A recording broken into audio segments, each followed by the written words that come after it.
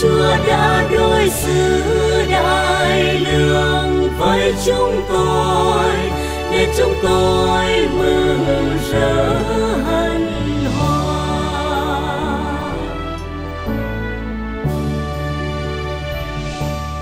Khi Chúa đem những người Sion bị bắt trở về, chúng tôi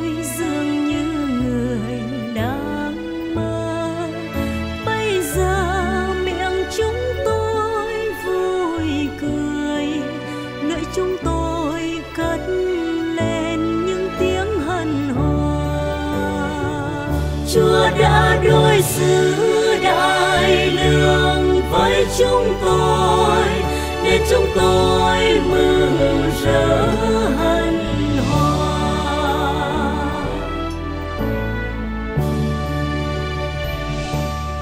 Bây giờ, dân thiên hạ nói với nhau rằng, chúa đã đối xử với họ cách đại lượng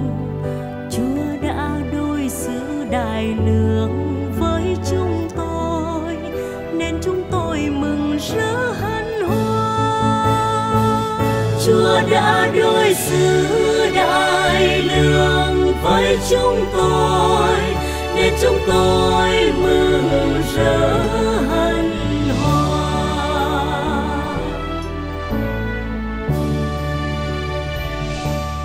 Lạy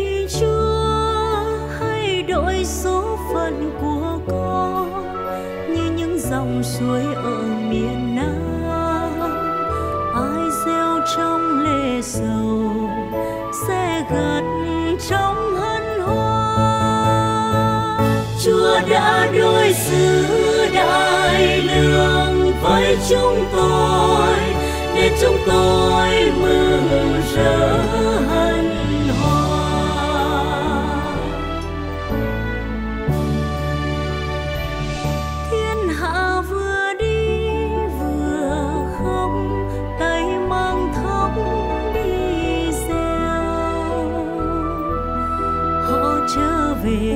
trong hân hoan, tay mang những bó lúa.